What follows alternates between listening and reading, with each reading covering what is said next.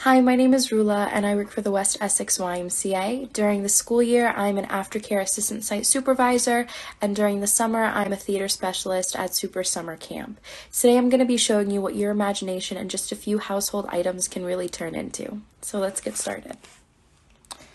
One of the first shows I did as a theater specialist was The Lion King Jr. And one of the problems we had was how are we going to dress up all these kids to be all of these different kinds of animals? Um, so collectively, we came up with the idea that the kids would make their own masks, and they absolutely loved it. And the way we did it is the same way I'm going to show you today with these really, really standard basic items. So you can have a regular paper plate. I have some um, leftover plates from last Thanksgiving. And what you're going to do on the back is you're just going to draw out um, a few you know, designs. I decided to make mine look like a flower child. Um, and you're just to make a place for the eyes, the mouth, and the nose. And then we're to go through and we're to cut that.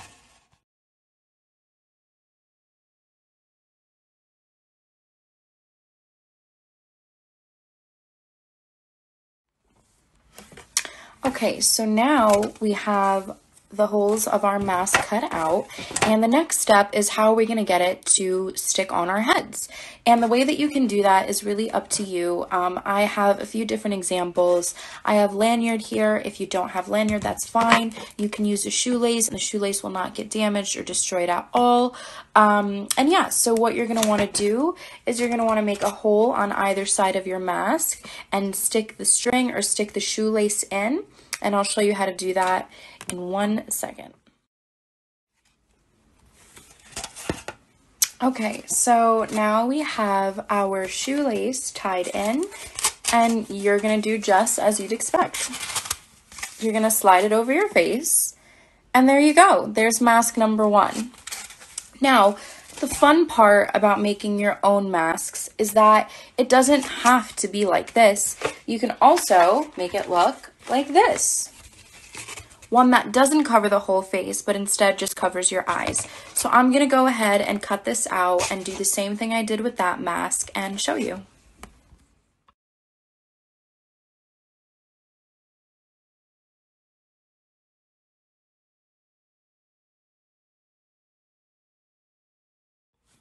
Okay, so now that we're finished cutting that out, this is how the other mask will look, and you can do the same thing that you did with the other one, and you can put a hole on either side and run a shoelace or a string through it so that you'll be able to wear it. The next thing that we're going to be making is a guitar, but this is not like any guitar you've ever seen before because we're going to be making it with a tissue box or you can substitute it with an empty shoe box and a roll from toilet paper or if you want a longer stem, you can also use um, a roll from a paper towel. So what you're going to do is either on this side or this side of your box, you are going to be making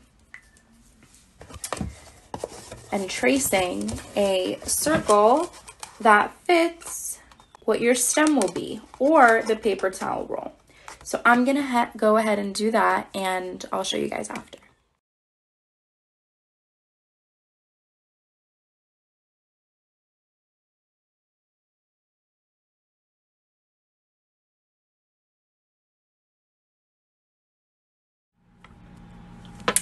Okay, so I went ahead and finished the guitar and I'm to explain now what I did.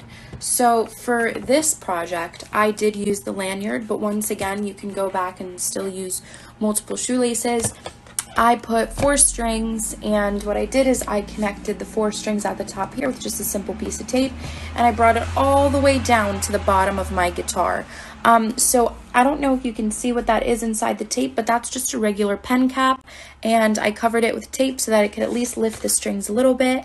And like I said before, I know mine is not designed, but you can design yours however you want. Okay, so this is where the real fun gets in. Now you have masks, you have a guitar. What are you going to do with it? And that's completely up to you. You can put on a show, you can play music, and you can pretend that you and your children are the lead singer or the orchestra. You can use a huge white bed sheet, and that can be your backdrop, or you can go inside of your kitchen and you can get a wooden spoon and a tin bowl which to me looks more like a drum set. And that is the best part of imagination. I know things are weird right now, but stay safe and hang in there, and soon everything will get much better. I hope you all have fun.